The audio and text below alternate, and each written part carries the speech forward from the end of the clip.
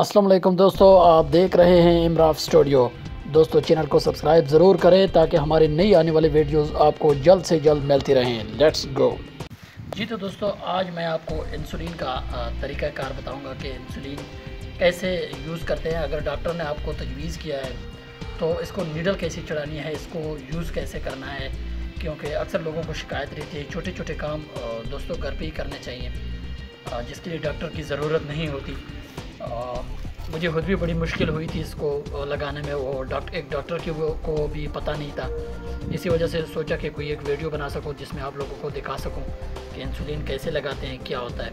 दोस्तों, हमें डॉक्टर ने तजवीज़ किया है कि चौदह यूनिट लगाने हैं। आप लोग डॉक्टर की हिदायत के मुताबिक अगर आपको 10 कहते हैं 20 कहते हैं, उसके मतलब मैं आपको तरीक़ाकार बताऊँगा, उसके मतलब आपने लगाने हैं। दोस्तों, ये पूरा एक पेन जैसा है।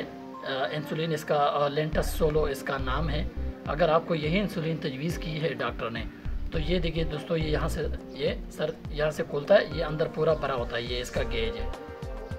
ये मैं जूम करके दिखाता हूँ, ये देखिए, ये यहाँ पे इसका गेज है, ये मुकम्मल भरा हुआ है इंसुलिन से। ये देखिए यहाँ पे दोस्तों, ऊपर से ये नीडल चलाते हैं, मैं आपको, अभी मैं आपको उतार के दिखाता हूँ।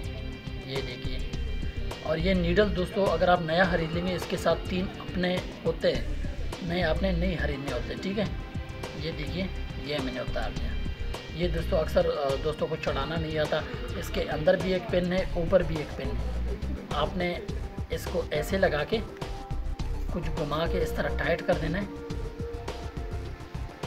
ये देखिए दोस्तों, टाइट हो गया। अब ये जो सिरा है इसका, ये जो पिन है, ये आप लोगों ने निकालनी है। ये देखिए, इसके अंदर एक नीडल होगा। ये देखिए दोस्तों।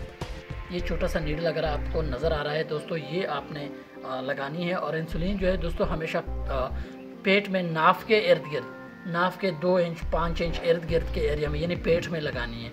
और ये नीडल सिर्फ़ इतनी ही जाती है, इसमें आपको टेंशन लेने की ज़रूरत नहीं है कि कितना अंदर जाएगा या खून में न चला जाए या मसला न बन जाए, ये उतना ही जाती है। ये पूरी की पूरी आपने अंदर घुसेड़नी है और उसके बाद लगाना है। अब मैं आपको थोड़ा सा इसका गेज बताता हूँ।